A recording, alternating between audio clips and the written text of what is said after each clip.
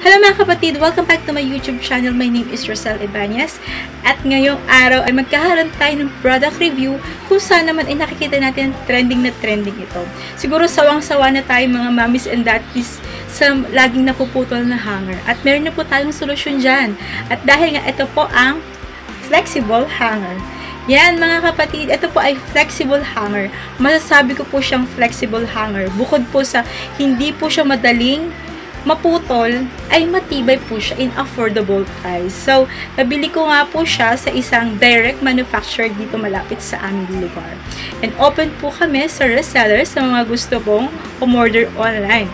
So, ito po, pakapakita ko po sa inyo ang pinaka-actual na video ko regarding po dito sa hanger na to. Unlike po dun sa mga hanger natin no, sa mga nakaraan, sobrang bilis po talaga nilang uh, mabali. Yan ang pinaka-problem ko bilang isang mamis. So, nagkaroon po tayo ng flexible hanger. So, makikita ko, papakita ko po sa inyo mga kapatid, yung pinaka-actual na flexible talaga siya.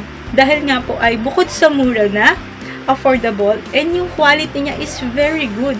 Unlike po dun sa mga nauna nating mga hanger dito sa ating bahay, ay ano din po siya, okay naman po siya sa prices, pero po, napakabilis nga lang po ng pagbali niya doon sa pinaka-plastic. So, ito pong hanger na ito is napaka-flexible. Color black po ito mga kapatid. So, makikita nyo po, it's a regular size po ng hanger dito na talagang ginagamit natin sa ating tahanan. So, makikita nyo po mga kapatid na color black po siya. So, kapag ginanong ko po siya, hindi po siya madaling mabali. Makunat po siya mga kapatid. It's a rubberized plastic, I think. Uh, siguro po, ito po yung part po ng paggamit, paggawa nila, no? Rubberized, napaka-flexible po. So, makikita nyo po, hindi po siya madaling ma, ma maputol. So, kayang-kaya. Pero kung talagang sasadyain po natin putulin, mapuputol at mapuputol. So, syempre, gamitan na namin ito sa ating bahay. So, hindi mo naman kailangan ganunin-ganunin ko. Pero in, in my part po, mga kapatid, pag sinadya mo siya na gano'n, ng gano'n, ng gano'n, ng gano'n, ng gano'n, talagang mapuputol talaga siya. Pero, sa quality po, is okay po siya. Sa sizes, okay din po siya. It's a regular size na ginagamit natin sa ating bahay.